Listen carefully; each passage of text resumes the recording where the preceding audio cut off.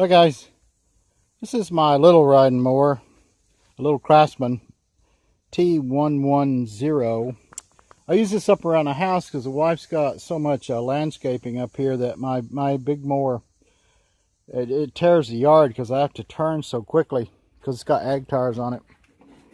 So I just experienced a few days ago a unique failure mechanism on this.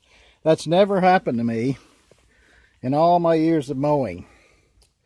So, here's the deal. I went to get the mower.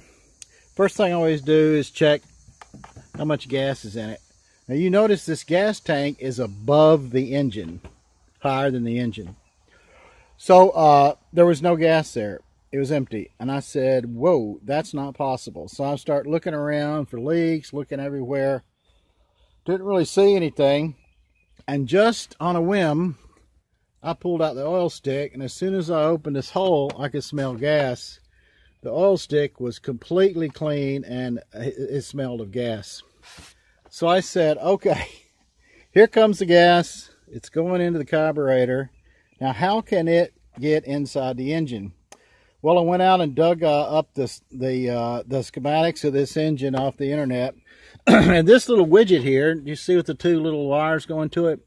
This is a auto shut off the solenoid. So what happens here when no power is on, so the key is off, there's a plunger here that goes up through the carburetor float and goes into a hole and stops gasoline from getting into the carburetor. When you turn on the key, it applies a voltage, some current runs through here, and it pulls the plunger down so gasoline can get, get in here. Well, on this mower, which is it's not very old, I think it's not even two years old, the the plunger stuck open. So since it was open, all of this gasoline, so it's gravity fed and it's above the engine, comes in and goes into the engine and fills up the entire engine of gasoline. So I had to, okay, I got sidetracked. Where was I? Oh, so the plunger stuck open and all of the, the fuel that was in the tank drained into the tank. So it was a it was a real mess.